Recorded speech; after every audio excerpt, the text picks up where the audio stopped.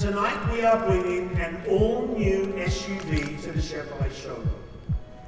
One that will have exceptional functionality, a truly, and I mean truly, dramatic design, and dynamic ride and handling, and it's all wrapped up in an iconic Chevrolet name. Let me show you what I mean.